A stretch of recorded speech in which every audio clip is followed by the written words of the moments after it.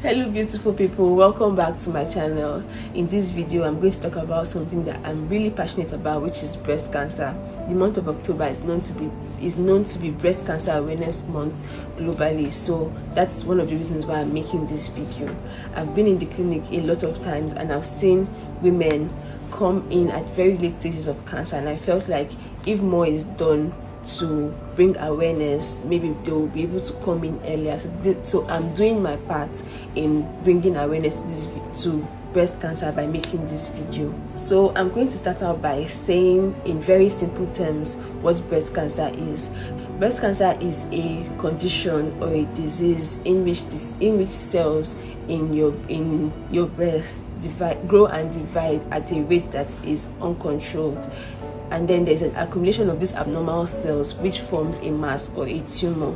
So now this mass or tumor has an ability to spread to surrounding tissues and even travel far to other parts of your body and form new tumors. So which is why we are raising awareness so that you can catch these tumors early enough before they spread to other parts of your body.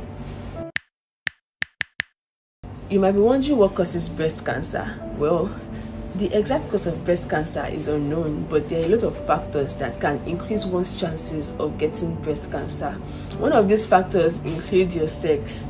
Um, being a woman increases one's chances of getting breast cancer. Now, I'm not saying men can have breast cancer. I've personally seen a case where a man came to the clinic and he had breast cancer and we had to treat him. So, being a woman increases your chances of getting breast cancer. Another factor is your age women above the age of 50 have an increased chance of getting breast cancer. Another very important factor is family history. If your mom your sister your auntie any close relative has had breast cancer before it increases your chances of getting breast cancer. If also you previously had breast cancer in one breast the chances of it recurring in the other breast are also increased.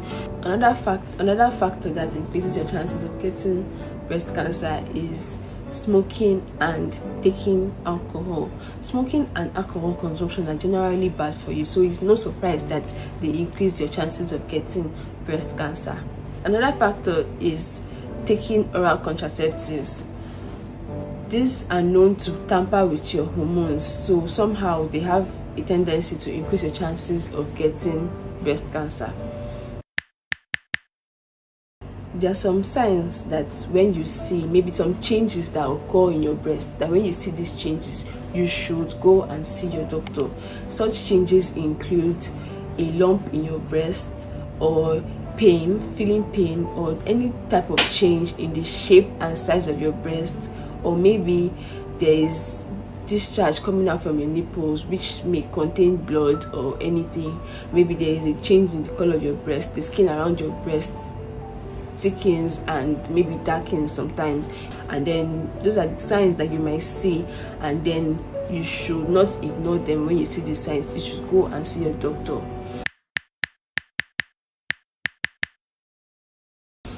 I cannot talk about breast cancer without talking about breast self-examination it is very important that once at least once a month usually most preferably after your period you should perform a breast self-examination. This helps to detect any changes in your breast. It helps you get very familiar with your breast so that immediately there's any change or any difference in your breast size or shape you are the first to notice. So i'm going to be talking more about breast self-examination. There are some things that you need to perform a breast self-examination. You need a mirror and maybe oil. You want to stand in front of a mirror and then examine your breast you want to look at it. You want to take note of the size and the shape. You want to take note of the of your nipples if there's any discharge from your nipple if there's any wound on your breast or anything like that. Any abnormality maybe your your breast is shaped different from the other one or different from how you know it to be. Then the next step now is to put your hands behind your head like this. And then claps like press forward so that the muscles around your um, breast dense and then you can see the shape of your breast. The next step is to put your hand on your hips and then press down. This way your the muscles around your chest will contract and then you can see the shape of your breast. Then the next step is you want to put your left hand behind your head and then use your right hand to examine your breast. I'm going to include pictures or a short clip so that doesn't look weird. You're going to use your right hand to examine your breast in circles closely from the outside to the inside and make sure you cover every aspect of your breast including your armpits.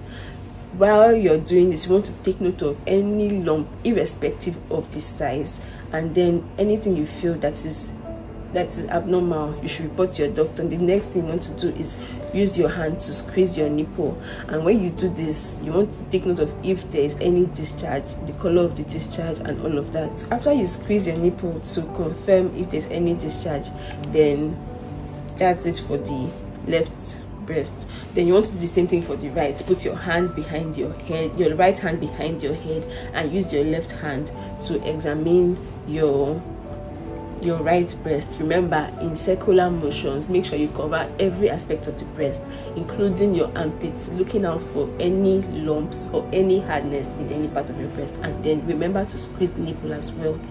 Then after doing this remember in front of your mirror then the next step now is lying down. You want to lie flat on your bed. Sometimes you may prefer to put a pillow under your shoulder or or a wrapped towel so that to make your breast to be flat. This position now helps flatten the breast so that it is easier to examine. So when you do this you want to perform the same examination. Put your hand behind your head do this all of do it all in circular motions covering while lying down. So that is the final aspect of the self breast examination. You want to do this at least once a month preferably after your period so that that's when your breast is your breast is less tender. Peradventure you feel a lump or maybe you didn't feel a lump but you just feel like maybe one of the risk factors i mentioned earlier you fall under those categories then there's a test that you are advised to do which is called a mammogram. A mammogram is a mammogram is an x-ray of the breast that is done to detect any changes or any abnormal growth in the breast. It is advised that women above the age of 40, like I said, women above the age of 40 have an increased risk of having breast cancer so it's advised that after the age of 40 you should have a mammogram done at least once a year for the rest of your life so this helps to detect the cancer on time so that it can be treated before it gets the chance to cause any harm or spread to the rest of your body. After a mammogram is done there's some other tests that can be done as well but then that depends on your doctor. He if when you go to the hospital your doctor will be the one to tell you to do those other tests. So i'm not going to go deep into that. After the test has been done and the breast cancer has been confirmed your doctor will now tell you the next course of treatment. It there are other there are many options. There can be surgery they, you can use drugs which we call chemotherapy you can use radiation therapy or uh, there are many options but that will be between you and your doctor. That is the major reason why i'm making this video to implore you as a woman to take better care of yourself. And then if those if you notice that these abnormalities are present please see a doctor. Your doctor will advise you on what to do the next course of action if you need surgery or you need drugs or whatever. Your doctor will be the one to now tell you what to do. A diagnosis of breast cancer is not a death sentence I've personally seen a lot of women that come to the hospital early enough and they are treated and they are able to go home and live a normal life. So please, if you or anyone that you know has lump or has a has a lump in their breast or any form of abnormalities in their breast please advise them to see a doctor and not just see a doctor because i've seen women that come see a doctor and once they hear breast cancer they run away so if you come and you are diagnosed of breast cancer don't be scared. It's not a death sentence. Follow up with your treatment as advised by your doctor and you will see that you'll be able to live a normal life. If you enjoyed this video and you learned one or two from this video please do your part by sharing this video so that much more people can be enlightened about breast cancer and we can catch it on time and treat it on time as well. Please like this video leave a comment in the comment section and subscribe to my channel. Thanks for watching. Bye